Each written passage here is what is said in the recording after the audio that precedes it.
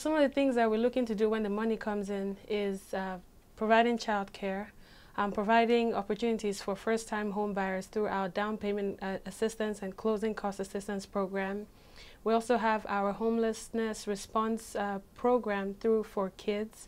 Uh, we have a broad variety of uh, projects. Our city project, for example, is um, um, through our Public Utilities Department, uh, we've developed a water and sewer connection fee assistance program to assist um, eligible households to connect to the city's water and main um, water and sewer mains. Uh, we also have an exciting new project um, through the Chesapeake Supportive um, Housing Organization um, where they are renovating the parking lot of the Sanderlin apartment complex and they're also renovating the heating and AC units in the, in the apartment complex. So we um, help fund activities from affordable childcare to the construction of affordable homes to uh, case management for supportive services for individuals um, that faced uh, homelessness at one point in time.